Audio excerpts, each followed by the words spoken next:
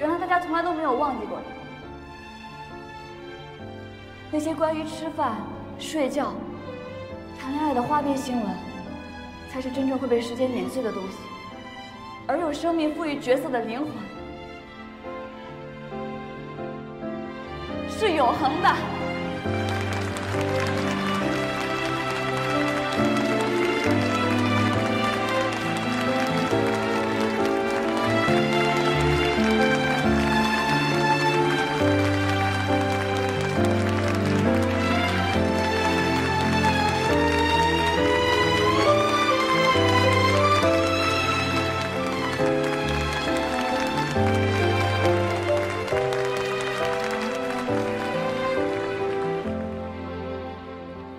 我先看到他了，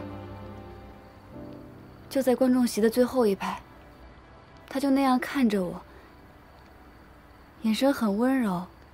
我估计啊，你就是太想他了，才会有这样的幻觉。但说真的，你刚才发言的时候呢，我还蛮感动的。真没想到叶涵还能说出这样的话。这么有内涵的话，他当然说不出来了。其实那些总结，都是我想的。颁奖典礼，总得给他补点面子吧。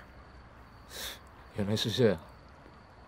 不过，他确实有表达过这样的观点，只不过他的说法很粗陋，需要我这样的贤妻给他加工一下。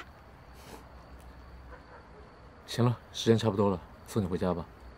嗯，天诺哥哥，要不然你先回去吧，我想一个人待会儿。呃。你确定吗？确定。行，那我先去找坎迪了。你自己注意安全，有事打给我。放心吧。走了。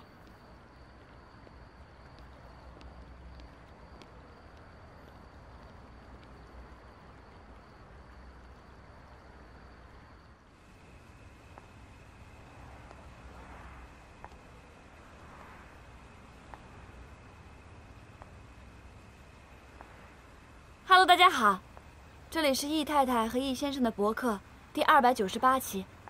今天，易先生有回到易太太的身边吗？答案依然是没有。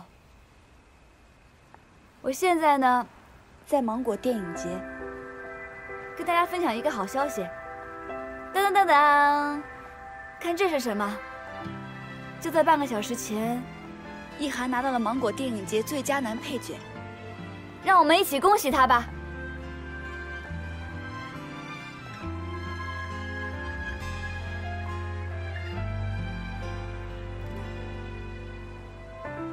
只能送你到下个路口，剩下的路分开走。说好我们都不许。你海，你在哪啊？你海，你海，你听得到吗？你海，你海，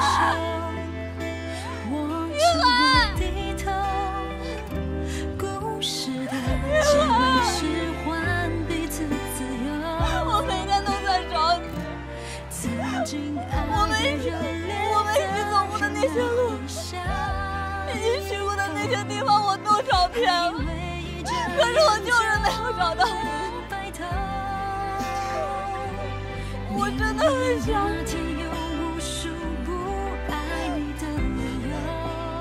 你，知道吗？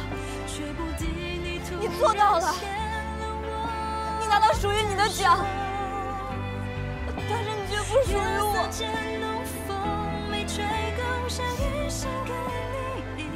我以为。我以为没有你的日子，我依然可以好好的做自己，依然可以好好吃饭，好好睡觉，甚至做更好的自己。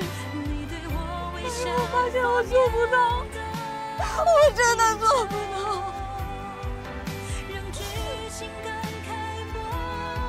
我知道你现在在黑暗里，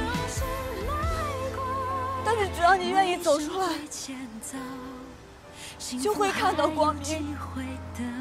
我可以永远陪着你，直到生命的尽头。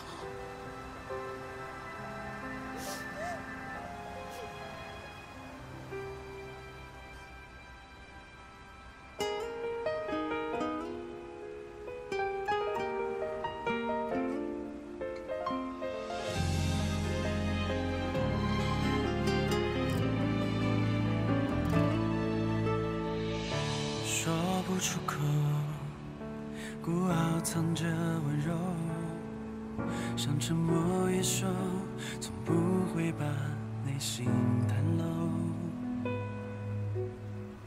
仿佛被诅咒，再多人围绕四周，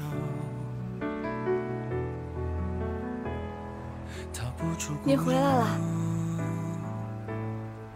哦。别走啊？